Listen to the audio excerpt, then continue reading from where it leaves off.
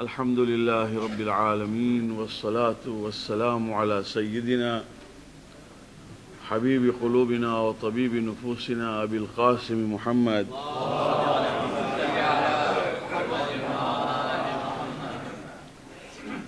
وعلى أهل بيته الطيبين الطاهرين المعصومين. أما بعد السلام عليكم ورحمة الله وبركاته.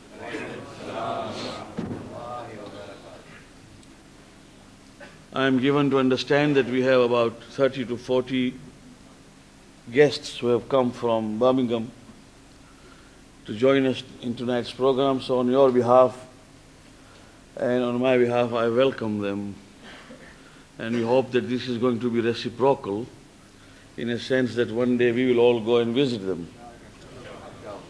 But this is the way how we can come closer to each other, regardless of our different places of residence. Now, one of the most baffling and puzzling points that we encounter in human life is what we call musibah or what we call bala.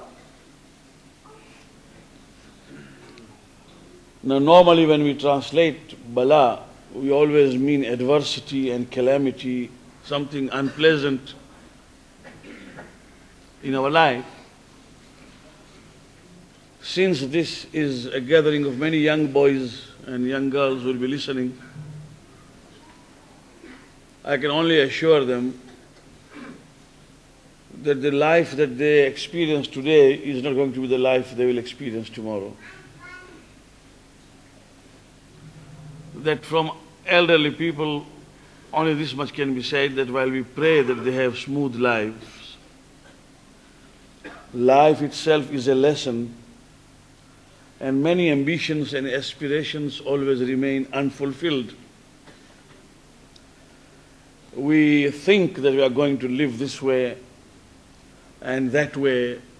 Ideally, we plan our lives and we envisage so many things, but life itself offers a variety of experiences, and therefore, as a young man grows, he finds that life is not what he had dreamt of. That all the aspirations and ambitions cannot be fulfilled. And sometimes in spite of all the planning, meticulous working, designing, we find that it is simply beyond control.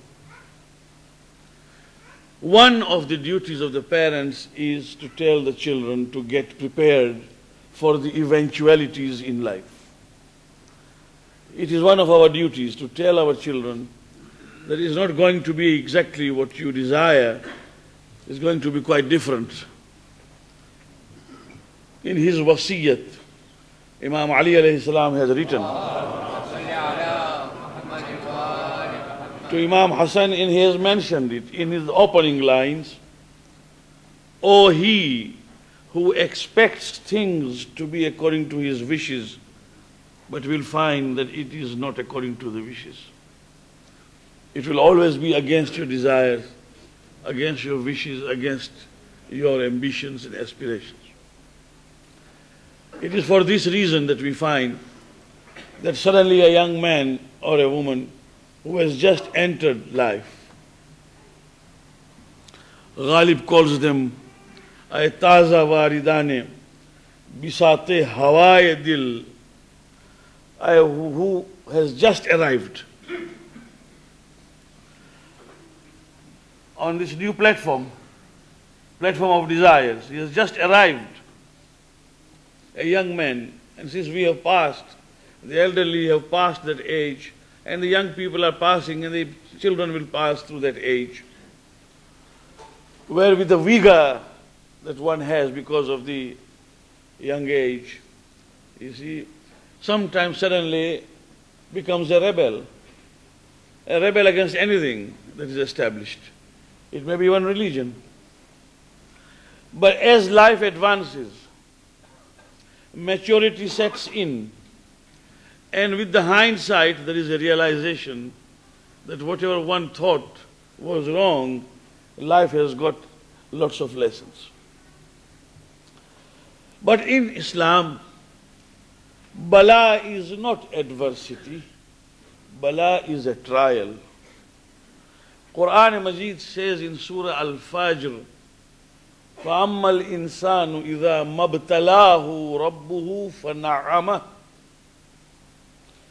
And human being when Allah tries him and blesses him with ni'mah. Now that means even to be blessed with wealth, with health, with all the bounties itself is also a bala. But that bala is in the meaning of trial, not in the meaning of musibah. فأما الإنسان إذا ما ابتلاه ربه فنعمه فيقول ربي أكرمن Then in answer to that he says, Allah has been very kind to me and He has honored me. وأما إذا ما ابتلاه فقدر عليه رزقه Again when he tries him وقدر That means now he supplies him with measure. Not abundant, not plenty, but by measure.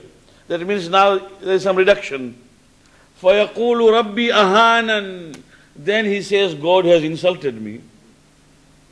God has been unkind, unkind to me. Qadra.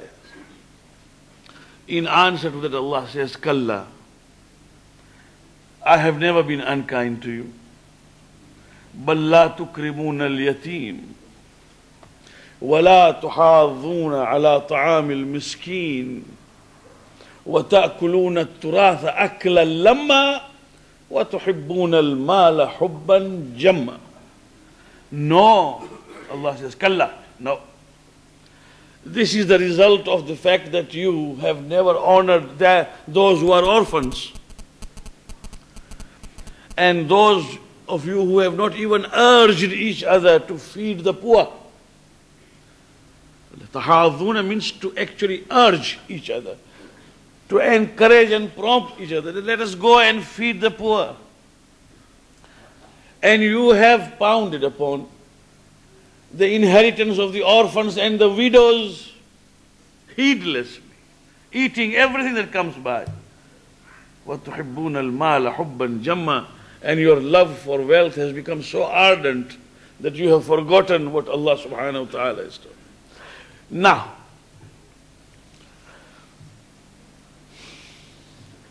because these young minds have got to be prepared for this, I say that you, there will come a time in our lives when you will say that Allah has been unkind.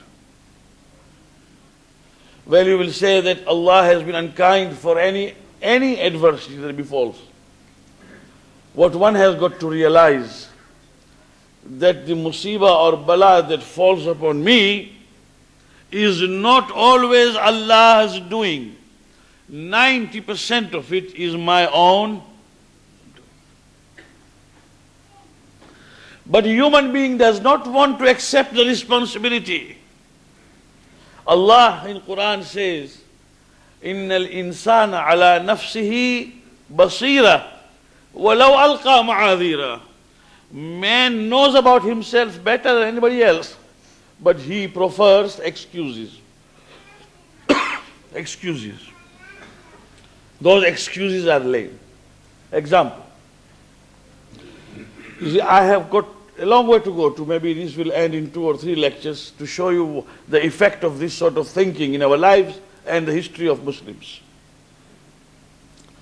What happened was, for anything that befell me, say I have a shop, it's not running. Allah subhanahu wa ta'ala has been unkind. But I forget that am I responsible for this slow running of the shop or not? Perhaps it is in the wrong place.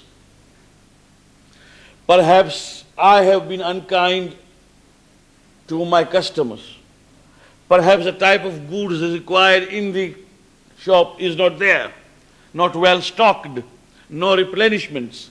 Perhaps I am not looking after the customer's needs. There are several points which are attendant to a successful business. I tend to forget everything and say Allah subhanahu wa ta'ala did not will it. So my son does not pass his exam. Did I go and see why? Perhaps he is not working. He is not attending. He is not attending the classroom. Perhaps he is lost. Perhaps the subject is not of his choice. The tragedy is, my friends, that I don't even know in which class my son is studying. I don't know. And then I go and say, I don't know, my son is, now Mullah Sahib, give me some taviz for him. That taviz cannot help. The taviz is in you. Ali ibn Abi Talib salam says, أتزعم أنك جرم صغير وفيك انطوى العالم الأكبر Something which keeps man thinking forever. أتزعم أنك جرم صغير You think, oh man, that you are but a small being, an iota. وفيك انطوى العالم الأكبر And within you there is a great universe.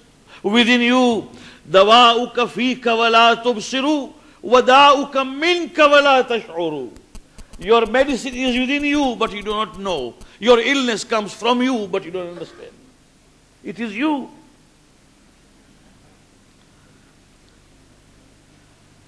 So, everything from him.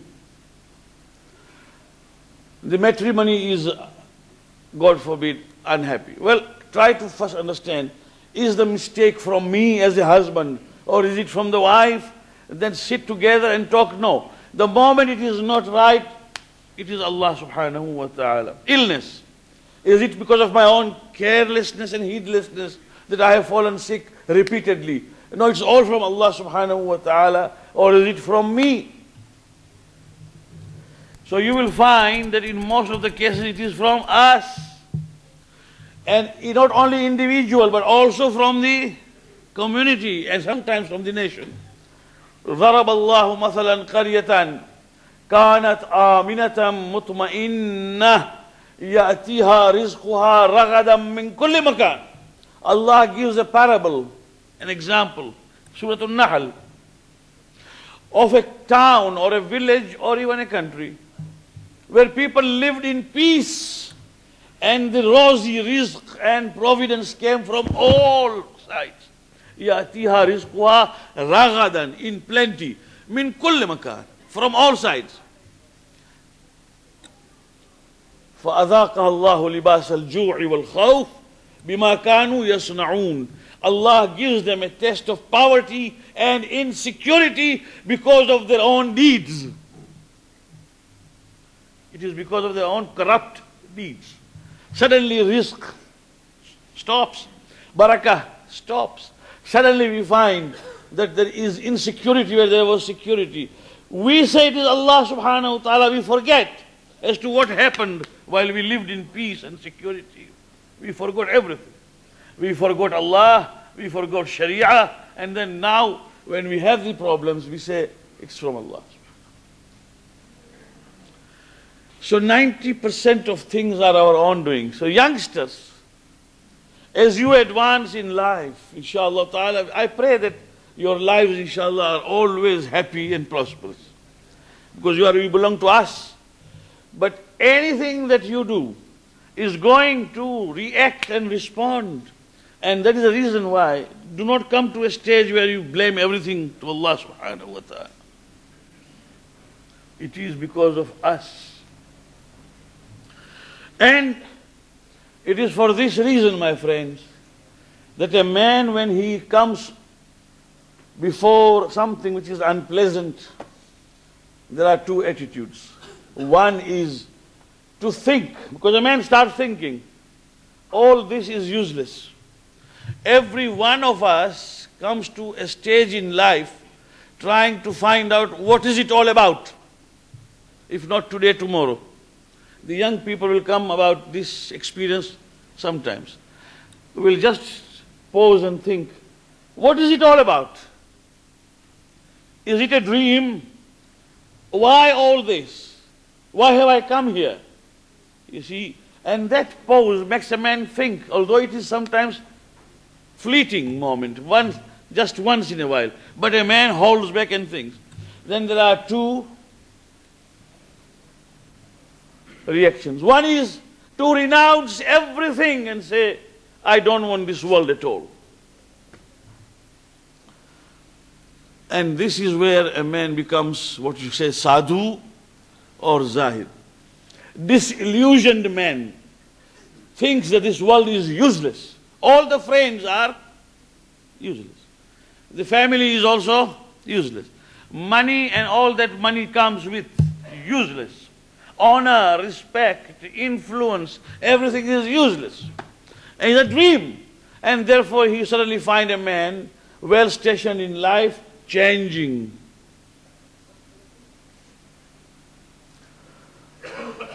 In the time of Imam Ali salawatullah wasalam alayhi, a man comes and says, Ya Ali, my brother, after having listened to your majlises and your maw'idah and your khutbah, has changed. What has he done? He has renounced his wife and his children, his business, and all the comforts of life. And he is in the jungle there, sitting all day musalla praying. Imam alayhi salam said, Shaitan has misled him. Take me to him. And when they met there, Imam said, What have you done? What about your family? He said, Mawla, it's all a dream. They are all selfish people. If I die, my wife will cry, not because I have died, but because she is widowed. Selfish. If I die, my son will cry, not because I have died, but because he is orphaned. Selfish. Hmm? Argument, strong argument. Huh? Hmm. My friends, when I die, they have no mercy for me. They feel that they are bereaved of a friend. They have lost a good friend. So when you, don't you hear people, you see, have you heard or not heard? On a dead yet somebody says, now what will happen to me? You have to ask what will happen for. Man thinks of what will happen to him or her. So he said, Ya, ya, ya Amir al-Mu'mineen, everything. The whole world is wealth. And wealth came and went, made no difference. And I, it gave me no happiness.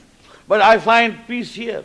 Imam alayhi salam said, my friend, are you a better mu'min than Rasulullah sallallahu alayhi wa He said, Ya Ali, that is not even thinkable. It was because of Rasulullah that I have become Muslim. You said that Rasulullah married. You have one wife, he had nine. You can imagine the problems. And of course, history will tell you. Then he ruled. He had friends. He had enemies also. He ruled, he maintained justice among people, he had to fight in defense of Islam. And he had laborious life, he led a life of hunger, but he, he maintained himself throughout. And he also in earlier life did business. Now what do you say about it? He said, Ya Ali, I never thought on those lines. But I want to ask you one question. Why are you wearing these clothes, simple one? Why don't you wear good clothes? Imam alayhi said, that is because of imama. I cannot wear good clothes as long as I know that everyone in the country is wearing enough. That is because imama has been given to me. Are you an imam? You are not an imam, therefore go back.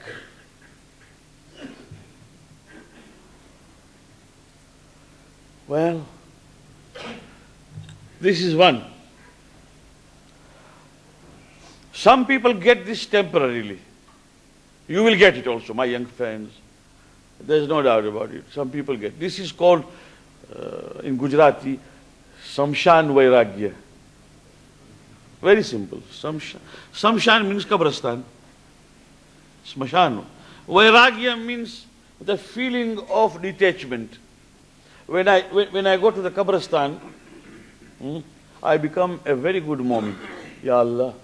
This is the ultimate. Ya Allah, Tawbah, Tawbah. When Mullah reads Talqeen, heartbeats increase. And هل أنت على العهد الذي فارقتنا Ya Allah. And when I see the Lahad, well, that is where I am going to be. I don't know, maybe tomorrow. And the Jamaat is so cruel that it digs one grave ready. Although it is a reminder, but when I see that cruel, Allah Akbar, this could be mine tomorrow. One never knows. One never knows. But there is one with ma- wide open, gaping lahad inside. You see, it could be me. Well, while in Kabristan, one is temporarily sadhu. Out, everything goes. This is called Smashan Vairagya, means the piety within the four walls of Kabristan. It is temporary and short-lived. Ghazali gives a, a, very good example. Ghazali writes in Ihya Ulumuddin. He says if there is a pen of sheep and goat, suddenly a lion jumps to pounce upon one of the animals, what will happen? Suppose it pounces and catches one sheep or cow and jumps up and goes away. The rest of the sheep and goat will not eat for five minutes. They are all shocked. They look here, look there. One of them has been taken away. They are all shocked, in a state of shock. None of them will eat. But that is only for three minutes, four minutes. Fifth minute, they are all grazing and they forget. Our forgetfulness increases even the sheep and goats. Because in Kabristan, while we are burying our friend, our relative, we are asking gold prices. We are asking what is the rate of dollar against pound. That shows that there is a, a, a extreme ghafla or heedlessness, as if this qabr was meant for that man who has gone. You will never go. Or it means ignorance. Whatever it be, may Allah save us. Fine. To those who, to whom it comes temporarily, it goes away. To some people, it comes and it stays. Suddenly you find that man not talking to his friends, not talking to even his family, not eating properly, not even laughing. He has become a sadhu. And if time allows him, he will go and wear bhagwa and run away, either to ashram in Bombay or wherever it is. If you go to Bombay or Pondicherry, which is the ashram, you will find multi-millionaire people once upon a time who have changed their clothes and worn those bhagwa, that is saffron cloth, and they sit there whole day doing nothing. If you ask them, they say, we have been disillusioned. Life is a dream and a mockery. We have come here to find peace. The other reaction is that one struggles and keeps faith in Allah subhanahu wa ta'ala. Allah in Quran says, أَلَيْسَ اللَّهُ بِكَافٍ عَبْدَهُ Is Allah not enough and sufficient for His own servants? Well, I have had problems. With the problems, I struggle ahead. And توكلت على الحي الذي لا يموت. Someday, من يتق الله يجعل له مخرجا. Allah says, whoever fears Him, Allah gives him an opening from all sorts of problems. It takes time, but the opening is there. Sometimes Allah gives me tests and trials and tribulation because He loves me. And He wants to taste, test me. In Iraq, in the days when I was confined there, in 1982 83, one mu'min who had been several times to Ziyarat, 16th time it was. He was also brought there with me. I was one week earlier, he came a week later. He was weeping all the time, crying, because it was the same thing as in my case. On the 15th day in the cell, He started. He said, Do you know one thing, Asghar Ali?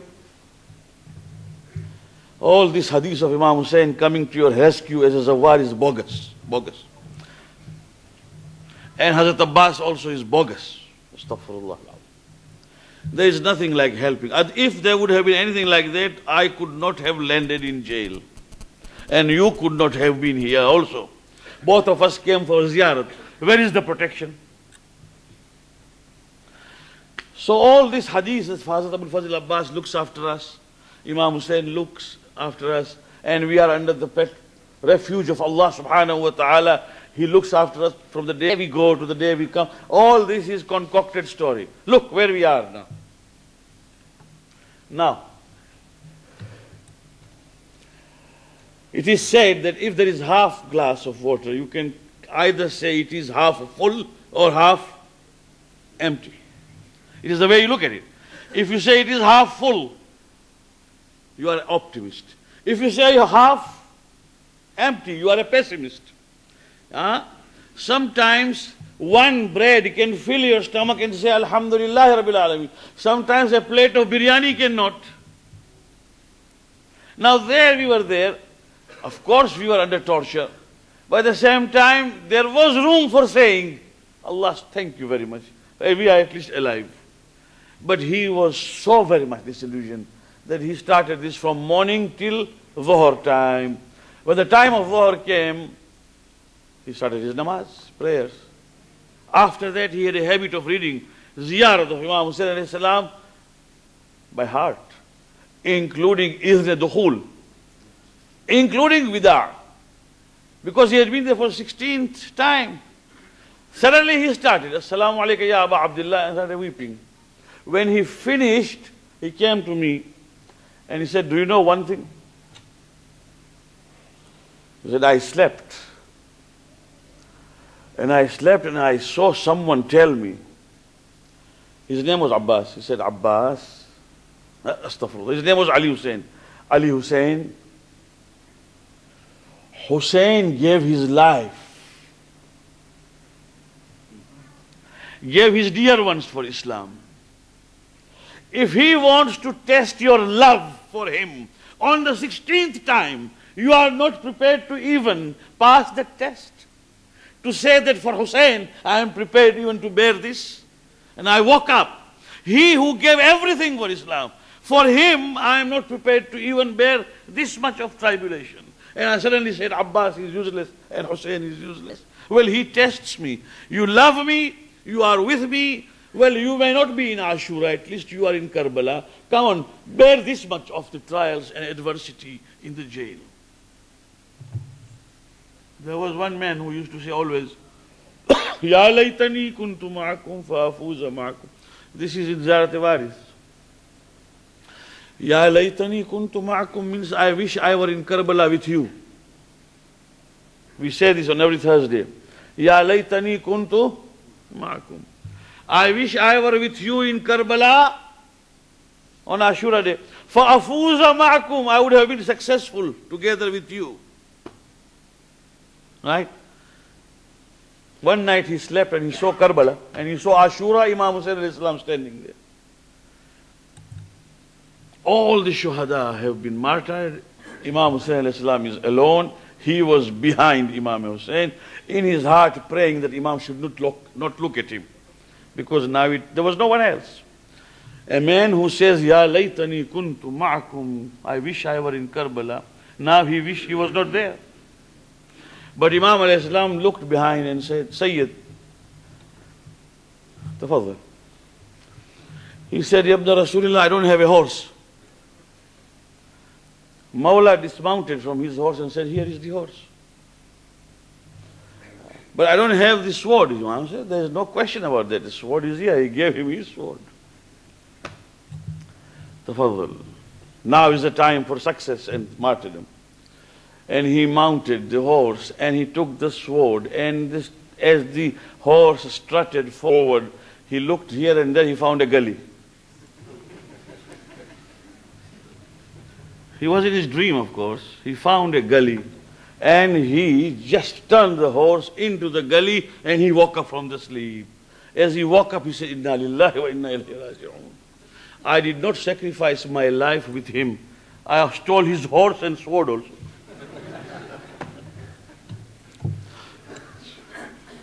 so, sometimes it's a test. Test. Allah loves me. Imam alayhi salam and the Prophet has said, when a banda, an abd, the servant of Allah subhanahu wa ta'ala, raises his hand and says, Ya Allah, I want a son, for example, and does not get a son. Hmm? And again he says, Ya Allah. Shabi Qadr again, Ya Allah, son. And again on good nights, on nights of occasions, Ya Allah, I want a son. And he does not give him. The Prophet said, whenever he raises his hand and says, Ya Allah, I want a son, Allah subhanahu wa ta'ala tells the malaika, Oh my angels, remain my witness. I love his voice. I shall give him, but not now. I love this abd's voice. Let him say again and again. In that humility, I love to hear the voice. He does not know. I am not giving him. I know why I am not giving him. The time will come when I shall give him, if I will. But I love his voice. That is the reason why we continue with our dua. Ya Allah, Ya Allah, Ya Allah. He gives when He likes, and when He gives, there is no one to stop. You see, for shifa, for everything. So, and he who feels in this world that people are jealous of him, hasad is a very bad, Allahu Akbar.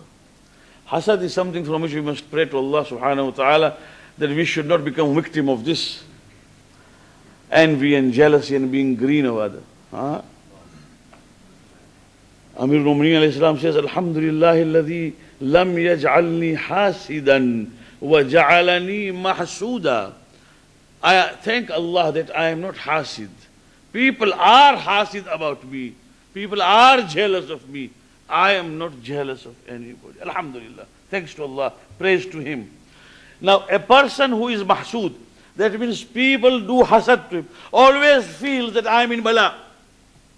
If people are jealous of me, actually there is nothing to fear about. For Allah subhanahu wa ta'ala sometimes in life brings you to that station when people are jealous of you. You have got to put up with saying, Allah subhanahu wa ta'ala will help me and protect. When we have a problem, when we have life which is full of difficulties, say astaghfirullah rabbi wa atubu ilayh. I seek refuge from him and I repent for my sins. That we don't want to do. We just want to complain.